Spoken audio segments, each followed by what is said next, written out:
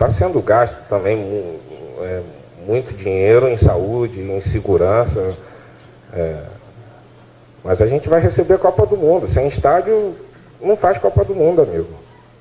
Não faz Copa do Mundo com, com hospital. Tem que fazer estádio, senão não tem Copa do Mundo também. Aí vocês têm que ver o que você, você quer.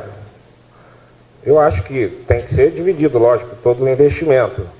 Eu não faço parte do governo, mas eu tenho certeza que eles estão fazendo isso e estão, estão, estão, estão dividindo os investimentos. De qualquer maneira, é, muitos estádios estão sendo financiados pelo BNDES também.